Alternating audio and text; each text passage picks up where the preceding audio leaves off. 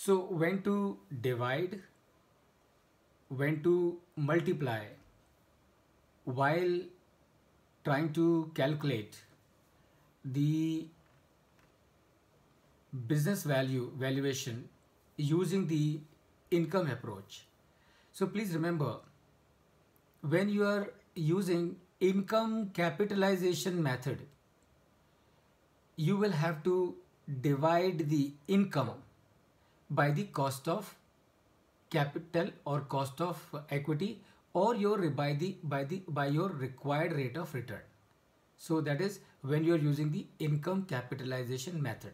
For example if you are using gordon growth model ggm then you will have to uh, divide you have, you will have to divide the income uh, by the uh, by the cost of equity minus the uh, growth rate and that is what exactly you did when you calculated uh, the uh, cash flow for the terminal period so terminal period के cash flow को मालूम करने के लिए आपने क्या किया आपने जो जो कैश फ्लो था at the end at the beginning at the beginning of the terminal period and uh, उसको आपने कैपिटलाइज किया by cost of equity minus the growth rate So that is, uh, you will use the, you will divide the income when you have to capitalize the income and when you have to find the present value. So please remember it is very simple.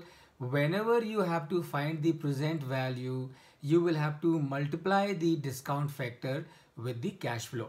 And that is what exactly you have done here and uh, that is so uh, you know this is this is the, the uh, 4396 is the present value of cash flow for the terminal period so how to find out the present value of the cash flow of the terminal period and that is by multiplying the discount factor तो ये 10667 आपकी cash flow है for the terminal period as a whole and uh, you multiply this with the discount factor which has to be always the discount factor for the last year of the explicit explicit forecast period so when you multiply 10667 with 0.412 you get the uh, present value of the cash flow for the terminal period and जब आप दोनों को add कर देंगे when you will add the uh, present value of the cash flow during the explicit forecast period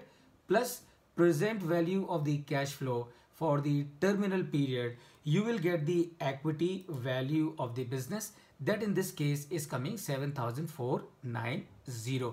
So I'm sure uh, this will make it clear to you as to कब आपको income uh, को divide करना है और कब आपको cash flow को multiply करना है with your discount factor. So if you have understood this, I'm sure you will never ever make any error of this kind.